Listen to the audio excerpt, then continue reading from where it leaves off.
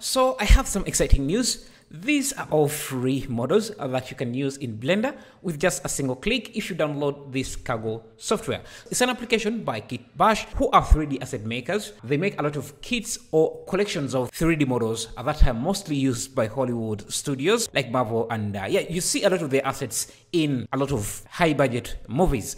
Uh, I'm just going to show you how to use it and how to get it to work with Blender. Uh, and uh, actually the process is very simple. So if you go to the models section and uh, under here you have a few categories and uh, go to the free section. You get these free assets uh, free models. Yeah so at first glance it doesn't seem like this is a lot of assets but uh, each asset you click on so for example i have this one here but just count these objects here. Imagine if they were just displaying a single object per thumbnail uh, you would have hundreds and hundreds of uh, assets. So uh, this asset here, this collection here, gains 10, I think can con contains about 20. Actually, let's take it out inside Blender. So the way you use this application is that uh, uh, after setting up Blender as your default application, you just have to have it opened and uh, you click on the, the, download button. So this is a uh, 300 and it's a lot for what I want. Uh, and I'm just getting a 2K version. This would be too much for, for that. So if you change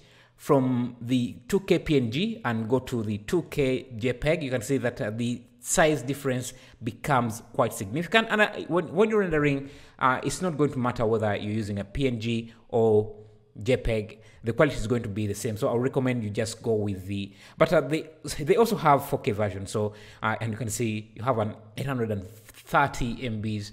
Yeah, that's too much resolution. You won't rarely need it. And actually most times it's just going to slow down your radar. So I'm just going to use the 1K version for demonstration purposes. So i have clicked download here and uh, it should be downloading. It should also be working with Blender. So if you go into Blender after activating the add-on, you should see the kit bash asset here. It's done downloading and now we only have to hit import and it should import directly into Blender as long as you have Blender open. So I'll just click import. If you check the console, you'll see that uh, the, uh, the add-on is actually doing something behind the scene and uh, we can see now it has finished and uh, we have our asset here. Let me just get rid of the default cube. Let's look at uh, the assets and get rid of the default cube. You can see, yeah, this is 1K resolution, but uh, you, you, see the detail we have managed to get. And like I said, these are a lot of assets. So let me show you how to download it. All you have to do is go to kitbash3d.com and just hit this download button. You get the cargo installer and uh, make sure to make an account, a free account. After it will require you to, to sign in on first installation. It will ask you to set it up and select the, your default software. And of course, I'm selecting Blender, but uh, if you want to change it at any time, you can go under account and uh, you can see you can select the default application, uh, the version, and uh, then yeah, you're ready to use the assets. Yeah, so they even have free materials. The ones that have a lock are under a paywall, but if you change the access to free, you should be able to get the free versions. And yeah, it's a lot of free assets. Like I said, yeah, you can just look at the amount of content they have. If you finish downloading the asset, it will get this icon here. So you can easily reuse it or you can go to the downloaded area and just get that. So again, I have Blender still opened here with the some of the assets.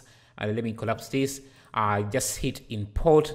Yeah, we have this. Just look at how detailed this castle is and uh, you can get it for free. You're working with correct scale and everything because this is a live studio that knows what they are doing. Yeah, if you want to get the add-on, all links are going to be provided in the description. So they also have a paid plan, but uh, it's a bit expensive, at least for me. So the default plan is the zero dollar per month, uh, which gives you the assets we have looked at. But they also have this sixty-five dollar package per month, which is uh, quite expensive. But uh, again, you're getting quite a lot of assets, Hollywood uh, quality assets. Uh, you, you you get all of these packages at, at the same price. So it's a subscription. It's a monthly subscription for all these assets.